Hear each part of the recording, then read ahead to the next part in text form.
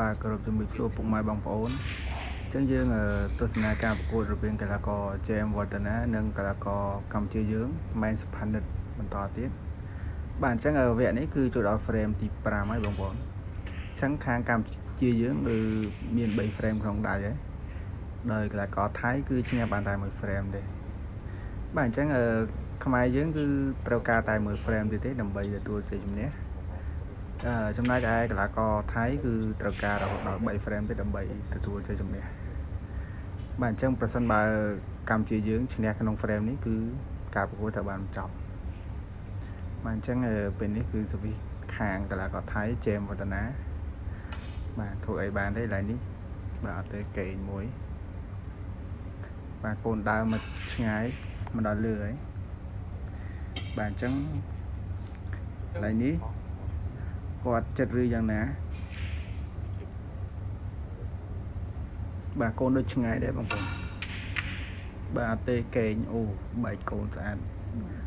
អូហូមិនដៃទេបងប្អូនអត់ចូលទេតែចូលកូនសកូនក្រោមចូលខាងលើបាទល្អមែនទេដល់ពេលខ្លះវាស្រ័យលើសំណាងដែរអូកន្លែងនេះសោកស្ដាយមែនទេបងប្អូនផ្្លាត់បាត់ហើយកូនខ្មៅអត់ចូលទេ បាទសល់ខាងកីឡាករថៃបាទដែរបាទអញ្ចឹងមិនថ្មីទេបងប្អូនព្រោះបន្តិចត្រឹមតែ1ដល់0ឡើយទេបាទកន្លែងនេះវាចូលស្អាតមែនតើកីឡាករជេមវឌ្ឍនាបាទកន្លែងនេះគាត់វាខៀវឬឈូកបាទមើលទៅដូចខៀវមកលូហើយបាទអត់ទេគាត់បែកបាច់តងបាទចូលសវិសដើរស្អាតមែនតើបាទត្រង់កន្លែងនេះ ចឹងថាពេលនេះខាងថៃគឺ4បន្ទុកបាទកន្លែងនេះចូលបាត់ទៀតហើយបងប្អូនស្អាតមែនតើកូដដើរឡើងមកក្រោយបាទមិនថ្មីទេបងប្អូនយើងចាំមើលបន្តទៀតព្រោះការប្រកួតទឹមចាប់ផ្ដើមបាទកន្លែងនេះអូវាយដំស្អាតណាស់បងប្អូនសវិសមកដល់ក្រហមតែម្ដងបាទកន្លែងនេះឈើតមួយបាទរៀង ឆ្ងាយដែរអាចចូលទេកន្លែងនេះបាទចលោ1ចលោ2ចាក់1អូចូលបាត់ហើយបងប្អូនតែកន្លែងនេះដូចជាមិនបានល្អទេបងប្អូនព្រោះមើលទៅកូនដូចជាជាប់ក្រហមតែមិនថ្មីទេដូចជាមានកូនខៀវមួយនៅចិត្តលោអាចបានទេកីឡាករថៃបាទអូប៊ីងអត់ចូលបងប្អូនបាទកន្លែងនេះដូចជាឆ្ងាយ បាទបើសិនបើផ្្លាត់គឺឱកាសកីឡាករយើងមួយហើយបាទកន្លែងនេះជេមវឌ្ឍនាអាចធ្វើបានទេកន្លែងនេះបាទមកតិចតិចហើយបាទអូខកខានឱកាសបាត់ហើយបងប្អូនចឹងពេលនេះឱកាសខាងកម្ពុជាយើងម្ដងប្រហែលស្ផានិតអាចធ្វើឲ្យបានទេកន្លែងនេះបាទកូនដូចជាអត់មានឡូដែលត្រូវវិញចូលទេចឹងគាត់កេងចឹងអត់ កន្លែងអត់កេងទេគឺបន្លំវាចូលឡូក៏ប៉ុន្តែកូនវាស្ទើបងប្អូនបាទកន្លែងនេះបាទគាត់មើលសិនព្រោះតែចាញ់មកវគ្គនេះទៀតគឺឱកាសហើយដោយសារខាងកម្ពុជាមាន3 frame ក្នុងដៃហើយបាទចឹងការប្រកួតនេះបើកីឡាករណាឈ្នះបាន4 frame មុនគឺទទួលបានជ័យជំនះបាទចឹងខាងថៃគឺមានសម្ពាធ បាទខាងកម្ពុជាយើងទោះបីចាញ់មក frame នេះក៏មិនអីដែរបាទកន្លែងនេះគឺគាត់ចិត្តលោកដាលដែរតែមិនចូលបងប្អូនបាទអញ្ចឹងសល់ខាងកម្ពុជាយើងបាទអាចបានទេកន្លែងនេះបាទថ្នមថ្នមមួយ បាទចូលស្អាតមែនទែនអត់មានប៉ះបាំងទេបាទអញ្ចឹងឱកាសខាងកម្ពុជាយើងវិញម្ដង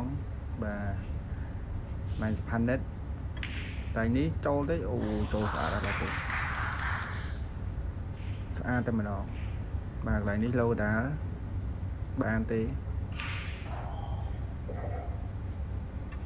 បាទបាទចូលស្អាតមែនទេបាទសូមសរសើរទឹកដៃគាត់មិនធម្មតាទេកីឡាករមែនសុផានិតបាទបើឈ្នះកីឡាករថៃរូបនេះគឺចាត់ទុកថាជារឿងអស្ចារ្យហើយបងប្អូនអាកីឡាករជើងមកតំណនេះគឺចាំមេដាយមាសអឺស៊ីហ្គេមលើកទី30 លើកទីការនៅវៀតណាមបងប្អូនបាទបាទកន្លែងនេះកូនជាប់បាំងប្រហែលបន្តិចគាត់គិតធ្វើម៉េចបាទចាក់មួយថយអូយស្អាតមែនទេចាក់មកដល់កូនពណ៌ទេម្ដងបាទចង់ជ្រុលទៀតចាក់មកខាងពេកមិនធ្វើអីបងប្អូនមកកន្លែងនេះកូនកូនខៀវអាចបានទេកន្លែងនេះបាទចូលទៅអត់ទៀតហើយ ដើរស្វីមកដល់ក្រហមស្អាតមែនតើបាទពេលនេះបន្ទុកកម្ពុជាយើងនាំមកខាងថៃវិញហើយបាទ20ទល់នឹង13បន្ទុកអញ្ចឹងកម្ពុជាត្រូវការតែមួយ frame នេះទេដើម្បីយកជ័យជំនះបាទចាក់កន្លែងនេះគឺស្អាតមែនតើបាទកន្លែងនេះកូនខៀវលោលើអាចចូលទេកន្លែងនេះបាទផ្ចិតផ្សងមែនតើមែនសុផានិតបានទេអូអត់អត់គាត់ទេស្អាតណាស់ បាទចាក់មកកូនពណ៌ក្រហមនៅមុខតែម្ដងបាទចំពោះគាត់គឺថាងាយងាយបងប្អូនបាទផ្ចិតផ្សងមែនតើបាទសុំសើទឹកដៃគាត់បងប្អូនគឺថាច្បាស់ច្បាស់មែនតើកីឡាកររូបនេះបាទអនាគតគឺវែងឆ្ងាយបើសិនបើគាត់បន្តវឹកហាត់ខ្លាំងជាងនេះទៀតខ្ញុំជឿជាក់ថាគាត់អាចនឹងលេងជារង្វាន់ ពិភពលោកថ្ងៃណាមួយបងប្អូនបាទបើសិនបើមិនបានពៀនពិភពលោកទេក៏អាចគេហៅថាមានសមត្ថភាពគុតជែងជាមួយកីឡាករបរទេសផ្សេងៗដែរបងប្អូនតែនេះស្អាតមែនទែនបាទកន្លែងនេះកូនខ្មៅអាចទេកូនខ្មៅបាទដៃគាត់គឺនឹងល្អណាស់បាទថ្នមថ្នមមួយ ចាក់គាត់មកពីក្រហមបន្តទៀតបាទមិនងាយផ្លត់ទេឲ្យតែបានស្វីខាងគាត់បាទកន្លែងនេះបាទចាក់មួយស្អាតតែមិនទៅគីឡូច្រើនទេកីឡាករកម្ពុជាយើងបាទអូ2 3ដែរសុទ្ធហើយបាទកន្លែងនេះបាទគឺថាខំកូនស្អាតមែនទេបងប្អូនអាពេលនេះបន្ទុកគឺដាច់ឆ្ងាយហើយ 45ទល់នឹង13ហើយបងប្អូនអាកន្លែងនេះបាទចាក់យើថយមកយកសវិសខ្មៅបន្តទៀតបាទស្អាតមែនទេមិនឲ្យភ្លាត់ទេបានទេកន្លែងនេះបាទអូយសោកស្ដាយមែនទេបងប្អូនអត់ចូលកន្លែងនេះងាយងាយទេអត់ចូលបាទអាកាសខាងថៃវិញម្ដងកីឡាករជេមវឌ្ឍនាបាទមកលោហើយបាទចាក់មួយ ជីវិតយកខ្មៅបាទកន្លែងនេះផុតដៃផុតជើងតិចតែមិនថ្មីអាសវិសឡើងយកក្រហមតទៀតបាទអាចតាមតាន់កម្ពុជាទេព្រោះបន្ទុកដាច់ឆ្ងាយដែរបាទកន្លែងនេះបាទអូសកូនមួយយកខ្មៅបាទដល់ខ្មៅទៅម្ដងបងប្អូនបន្ទុកខុសគ្នាតែ20ពងជាងទេបងប្អូនបាទចាក់មួយ បាទសវិសមកដល់ក្រហមបាទពោពេញដល់បាត់ផ្សោតតែម្ដងបាទចូលបាត់ទៀតហើយបងប្អូនបាទមិនថ្មីទេបងប្អូនប្រសិនបើយើងចាញ់ frame នេះយើងអាចនៅមាន2 frame ទៀតដើម្បីកាត់សេចក្តីបាទកន្លែងនេះបាទចូលបាត់ទៀតហើយបាទសវិសដល់លឿងស្អាតមែនតើ បាទកន្លែងនេះផុតដៃផុតជើងដែរបាទអាចទេកន្លែងនេះបាទគាត់មិនឡូសិនបាទបាទរៀងជ្រុលដែរបងប្អូនបានទេកន្លែងនេះបានមកហើយបាទអត់ឲ្យភ្លាត់ទេបងប្អូនស្អាតមែនទេបាទកន្លែងនេះកូនជាប់នឹងពណ៌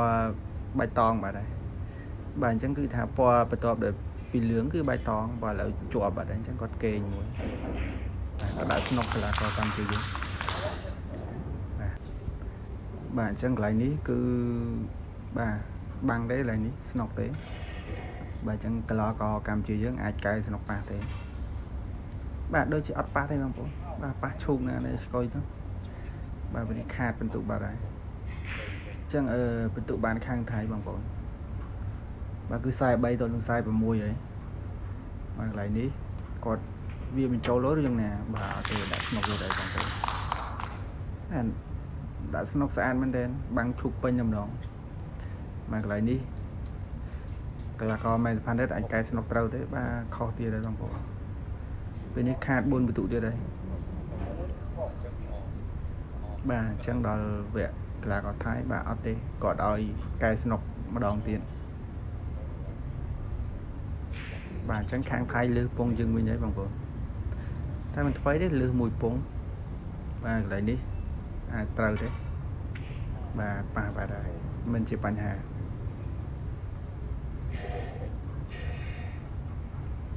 បាទកន្លែងនេះកាសមុខលោក៏បណ្ដាយរឿងឆ្ងាយដែរបងប្អូនបាទគាត់សម្លឹងមើលសិនបើបើថាវាបញ្ចូលលោអត់ចូលទេគឺផ្្លាត់ហើយបាត់បង់កាស បាទណាមួយកូនសល់គឺជាប់បាំងទៀតបងប្អូនបាទមិនងាយក្នុងការវាបញ្ចូលលោទេបាទកន្លែងនេះបានទេកន្លែងកោថៃជេមវឌ្ឍនាបាទផ្្លាត់បាត់ហើយបងប្អូន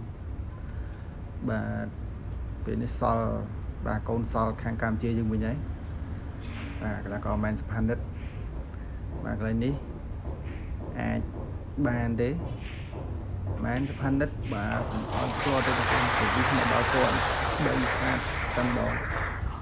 បាទពេលនេះបន្ទុកកម្ពុជាយើងកំពុងនាំមុខវិញហើយបាទពណ៌ដីកន្លែងនេះ